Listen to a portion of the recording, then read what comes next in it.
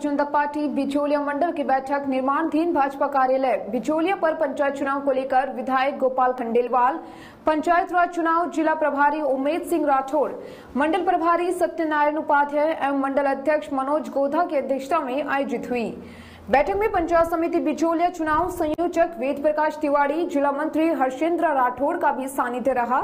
बैठक में विधायक गोपाल खंडेलवाल ने कहा कि आने वाले पंचायती राज चुनाव में पार्टी द्वारा जिसे भी प्रत्याशी बनाया जाए, उसके साथ पूरी ताकत व एकजुटता के साथ लेकर बिचौलिया पंचायत समिति में पुनः भाजपा प्रधान बनाए। जिला परिषद में पुनः अपना प्रतिनिधित्व जितना भेजने का आह्वान किया है। जिला प्रभारी उमेश सिंह राठौड़ व मंडल प्रभारी सत्यनारायण उपाध्याय ने दावेदारी कर रहे सभी प्रत्याशियों से कहा कि जो भी प्रत्याशी होगा, आप सबके बीच से ही होगा।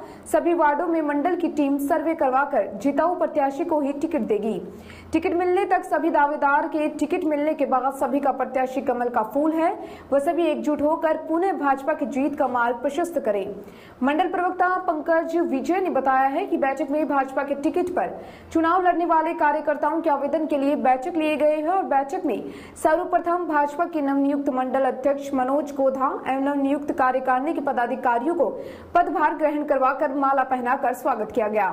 बैठक में मंडल महामंत्री कैलाश ठाकर, प्रकाश शर्मा, रमेश मेघवंशी, उपाध्यक्ष हरि सिंह सोलंकी, सुनील जोशी, बिचोलिया सरपंच प्रतिनिधि शिव चंद्रवाल, भगवान सिंह, शक्तावत, रामेश्वर चित्तौड़ा भवानी शंकर शर्मा, पूर्व पंचायत समिति सदस्य कमलेश कोहली, चांदमल जैन, प्रभुलाल धाकड़, आईटी सेल के पंकज जैन, एसटी मोर्चा मंडल अध्यक्ष, नेगराज मीणा, गोपाल बेरागी, दयाशंकर जोशी जगदीशपुरी, मोहन अहीर, पुरुषोत्तम महावल पूर्व सरपंच रामचंद्र भील, मंडल मंत्री पार्वती सालवी, मोनू टेलर, हितेंद्र सिंह, बूथ अध्यक्ष नरेश सोनी, यशवंत पुंगालिया, देवकरण सोलंकी, अभिषेक सरवा, देवेंद्र लक्षकार, मुकेश खटीक, योगेश ठाकर चंद्र प्रकाश मेवाड़ा, प्रकाश मीणा, विनोद गुसर, जितेंद्र सिंह चौहान, कस्तूर सोनी सहित भाजपा पदाधिकारी, जनप्रतिनिधि, शक्ति केंद्र प्रमुख व भाजपा के बूथ अध्यक्ष मौजूद थे। बैठक का संचालन वरिष्ठ कार्यकर्ता मुकेश धनापिया ने किया। 掉。